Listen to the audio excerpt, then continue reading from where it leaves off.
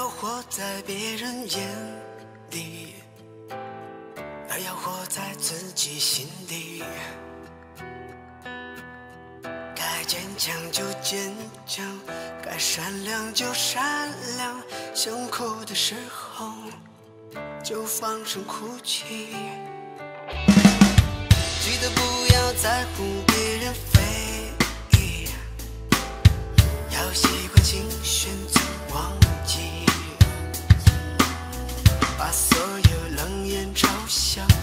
当做一种鼓励，就不会觉得有多委屈。